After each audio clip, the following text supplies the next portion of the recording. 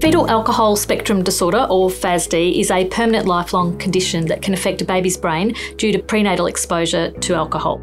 It is 100% preventable, but permanent if it happens.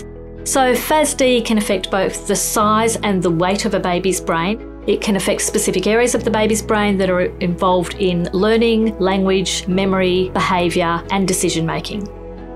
I didn't really know too much about FASD, but with the healthcare professionals that I was lucky enough to be surrounded by, it became really clear that the best choice for our kids is abstaining from alcohol throughout the whole preconception, pregnancy, and breastfeeding journey. Awareness of FASD is not just limited to the women who are pregnant or planning pregnancy, but it's really important that everyone around that woman knows about FASD so that they can support her in really important decisions. The best advice I give people is to abstain from alcohol while you're planning pregnancy, during pregnancy, or breastfeeding.